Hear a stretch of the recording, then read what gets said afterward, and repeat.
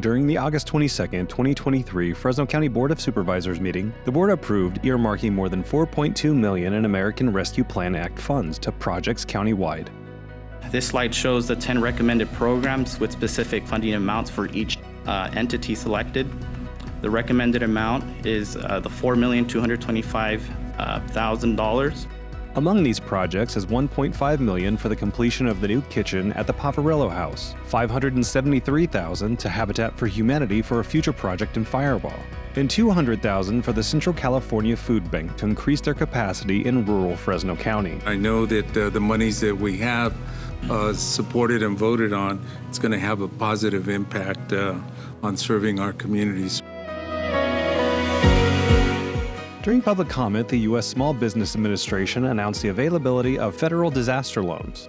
We have recently made one of our very first ever rural disaster declarations that benefits the entire county of Fresno. These low interest loans are available for businesses and residents affected by the severe winter storms that occurred between February 21st and July 10th. We are available to assist small businesses and others here in Fresno County that have been affected by the recent storms.